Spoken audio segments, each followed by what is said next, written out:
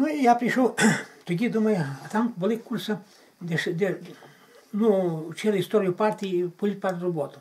Я думаю, поступаю в комсомол, запишуся, бо треба ще вчити, може ще й знати. Я тоді поступив в армію комсомол. А чому я поступив, я вам зараз скажу. Той брат, товариш, Чвіркун, що був керівник районного проводу, він нас, коли вже батька не було, приходив до схорону ховатися. І одного разу ми з братом сидимо обидва, а ми мали таку суку, що вона гавкала на облавники інакше, і на тих партизанів інакше. Ми якраз я сидів з правого стола боку, мати спала на ліжку з братом, тим малим. Ми читали історію Страдовної світу, а він постукав, сука гавка, я кажу, мамо, вже якісь партизани йдуть.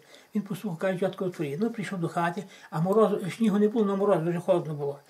І каже, може, мати що їсти. А на що було? Батрулі була бульба теребина і молоко. Мама йому дала їсти, він зброю положив. Каже, ти ще з моєї книжки. Мама каже, та вчуться, але вона каже, до комсомолу поступати, то- а каже, хто поступить, то їх, їх поб'ють. І то. І ми, каже, будуть лишати в школі. Він каже, чітко, то дурні говорять. А він був грамотненький, на священника вчив. Він каже, е, ми вже ще москалів не здамо, або нас поб'ють, або ми ще самі поб'ємо. А майбутньому треба буде, каже, грамотних людей будувати Україну. Я ті слова до нині його пам'ятаю.